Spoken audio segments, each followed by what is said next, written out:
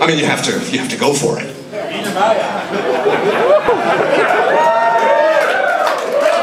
Okay. I feel like a prisoner now.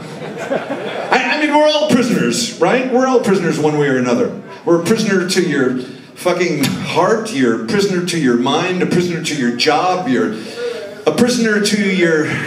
How many, how many, how many Mercedes smart car owners do we have in the audience tonight? Smart cars? Anybody own a smart car?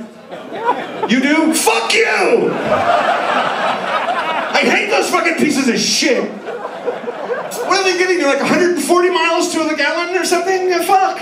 You're, you're driving down the freeway in your Mercedes 550, and there's a fucking smart car in the inside lane on the Autobahn going 40 miles an hour.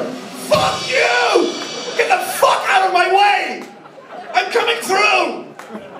God, I hate them. I fucking hate them. Sorry. Got that off your chest. So, I mean, I, what, uh, or, a prisoner to your TV. You, do they have like uh, Game of Thrones here? They have Game of Thrones? Fucking what a wank. fucking wank.